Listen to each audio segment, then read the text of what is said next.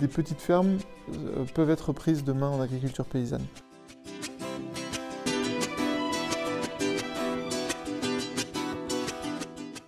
On est euh, du coup six copropriétaires aujourd'hui, avec mon père et mes, quatre frères et sœurs. Euh, on est là aujourd'hui parce qu'on on, s'apprête nous à vendre la ferme dans laquelle on a grandi, la ferme de Surminette, et on a relevé le pari de se dire qu'on la vendait pour réinstaller quelqu'un et pas pour la vendre euh, à l'agrandissement.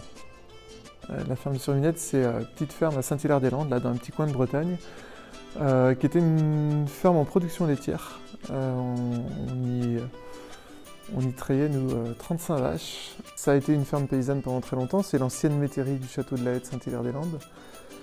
Pendant très longtemps, elle a fait vivre la paysannerie locale. Il y a eu des paysans qui se, sont succédés jusqu'à mes parents. Mais mes parents, ayant vécu les, les 30 glorieuses, on poussait tout le monde à s'agrandir et à agrandir les fermes. Donc mes parents étaient en emprunt à droite à gauche avec tout ce qui va avec. Et euh, on était en train de sortir de la paysannerie et ayant connu les réseaux des CIVAM, euh, de la bio et de Terre de Liens, euh, je savais que ce genre de ferme pouvait réinstaller des paysans.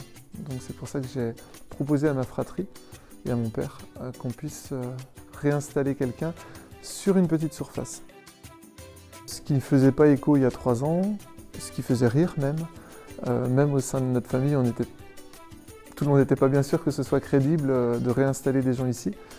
Euh, on va dire que ce qui a fini de, de nous convaincre, c'est la période dans laquelle on est rentré de confinement, une année Covid particulière qui a amené du lien dans les territoires entre les, habitants et les agriculteurs, euh, les consommateurs et les paysans. Les circuits courts alimentaires sont sortis fortement de cette période-là. Et ça a fini de convaincre euh, ma famille qu'on pouvait tenter l'aventure. Euh, voilà, et c'est pour ça que il y a quelques mois ou quelques semaines après le confinement, j'ai rédigé une annonce que j'ai envoyée sur le site de Terre de Liens. C'était pas encore Objectif Terre. Malgré tout, il y, a eu, beaucoup de réponses, on a eu 35 personnes qui nous ont contactés via Terre de Liens. Donc ça a plutôt bien fonctionné, et puis des, personnes un petit peu avec différents visages, différentes compétences agricoles, différents types de projets.